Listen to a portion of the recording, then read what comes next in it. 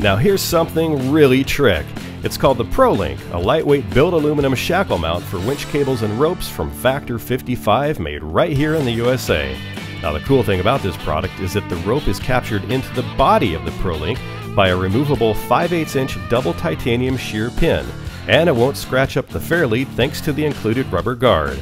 Now for more information go to factor55.com.